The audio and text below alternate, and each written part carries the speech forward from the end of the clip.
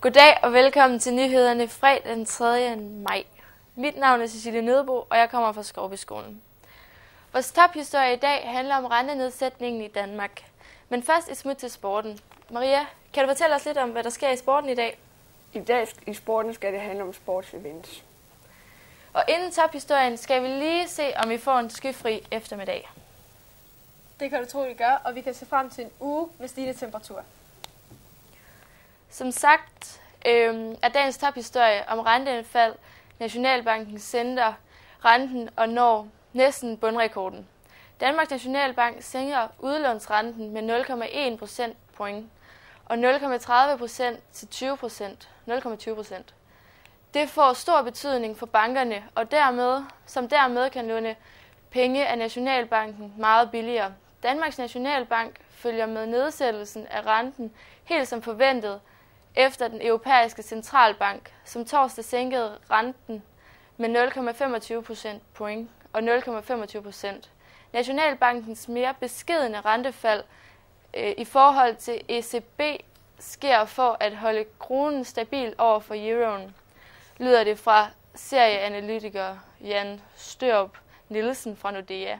Boligejere mærker først effekten ved eventuel omlægning eller refinansiering af lån, mens potentielle boligkøbere her og nu kan nyde et godt rentenedsættelse, nyde godt af rentenedsættelsen.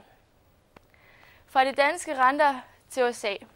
Pålidelige kilder siger, at Boston-bomberne egentlig var tiltænkt den amerikanske nationaldag den 4. juli. Brødrene bag bombeepisoden i Boston havde selv forventet, at deres bomber ville være klar til sprængningen den 4. juli, men brødrenes bomber var færdige allerede 80 dage før forventet og blev allerede sprængt den 15. april. Bomberne kostede tre mennesker livet, og over 20 mennesker blev såret. Vi skal nu videre til, med kulturen. Værsgo til dig, Mathilde. Nationalmuseet er kommet med en ny event for børn og unge. 12 børn har vundet en, prøve, en overnatning hos mumierne på Nationalmuseet.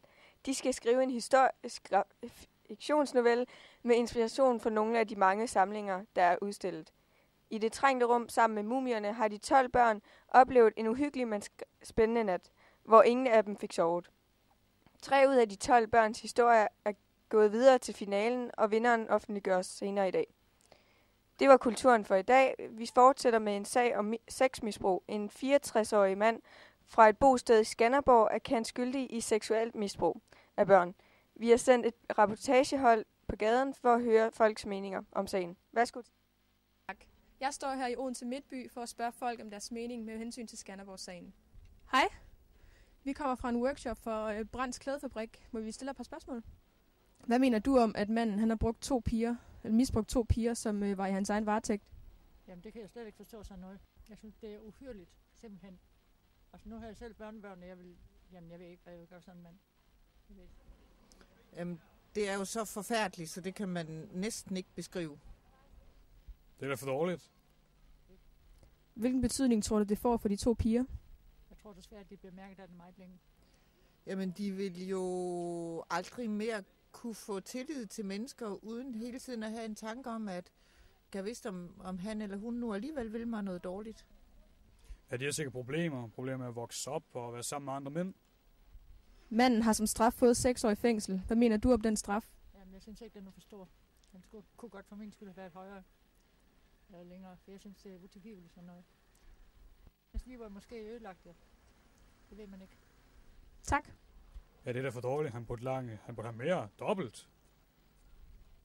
Jamen, jeg har meget svært ved sådan at blive hævngærig, men, men det er i hvert fald vigtigt, at han bliver holdt langt væk fra at arbejde med børn i al fremtid.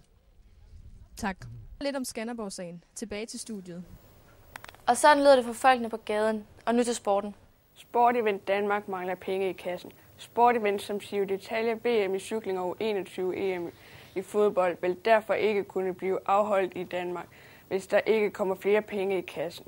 Mange har haft planer om at afholde EM i år 2020, men det har organisationen ikke nok penge til. Der er mange gode signaler for flere ordfører på Christiansborg, Danmark, Idrætsforbund og DGI. Men der er bare ikke nogen penge. Der er ikke nogen, der gør meget snart. Men meningen med vores organisation er ikke at gennemføre events sammen med forbundene. Så skal vi også klare det med vejret. Vejret i dag. I eftermiddag får vi op til 15 grader mod østvendte kyster, dog lidt lavere, 12-13 grader, men med skyfri himmel. I morgen nogen sol med risiko for regn i Østjylland, temperaturer mellem 10 og 17 grader, varmest i de østlige egne, mest frisk vind fra vest, men op til hård vind i Jylland. Så kan I glæde jer til søndag, hvor der kommer sol, dog lidt jævn vind fra sydvest. Temperaturer mellem 10 til 17 grader. Henover mandag til tirsdag tørt med nogen sol eller en del sol. Temperatur op mellem 13 og 18 grader mandag, men tirsdag stiger temperaturen helt op til 20 grader. Svag til jævn vind omkring syd. Onsdag mellem 10 til 15 grader, de østlige egne dog op til 18 grader, med mulighed for regn fra vest. Så har vi fået et spørgsmål fra en seer. Hvad er forskellen på vejr og klima? Jo, et givet steds klima er det gennemsnitlige vejr det pågældende sted i modsætning til øjebliksobservationer, som karakteriserer vejret. Klimaet beskrives ikke kun ved middelværdier over en årrække 20-30 år af nedbør, temperatur, fugtighed, solskinstimer og vind, men også ved variationer i disse størrelser og ved størrelsen og hyppigheden af ekstremværdier. Cecilie, skal du ud og nyde det gode vejr i weekenden? Ja, det skal jeg i hvert fald.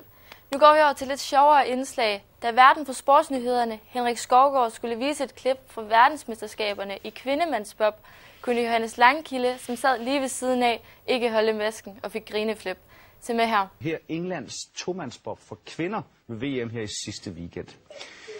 Vi er i St. Moritz, og så siger det Ritz. Gillian Cook og hendes makker gennemførte faktisk og blev øh, nummer syv. Bob, bob, bob, bob. Skal jeg så sige noget om, at der er nyheder igen, når klokken er 19? På gensyn. Ja, det er hårdt at være studievært. Det er jo ikke kun Johannes Langkilde, det kan ske for. Det kunne også ske for mig. Det var alt for mine kollegaer og jeg. Nyhederne er tilbage i aften kl. 19. I må have en fortsat god eftermiddag, indtil vi ses igen senere.